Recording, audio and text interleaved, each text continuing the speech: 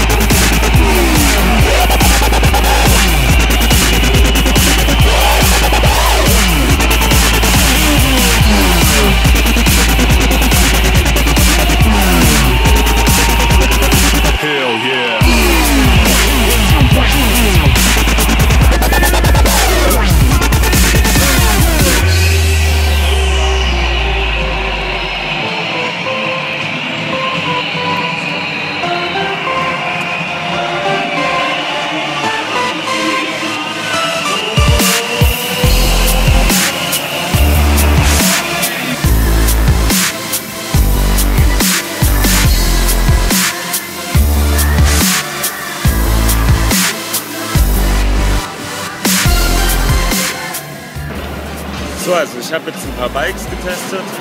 Irgendwie alles nicht so mein Fall. Und ähm, jetzt geht's weiter hier im Velodrom